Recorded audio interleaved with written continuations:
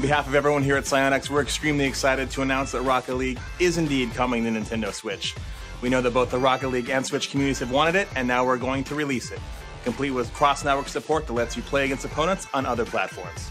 The Switch version will have all the features and modes we've released thus far, plus exclusives like local wireless multiplayer, Mario and Luigi hats for customizing your car, and new exclusive cars we'll talk about later this year. Look for Rocket League on Nintendo Switch this holiday.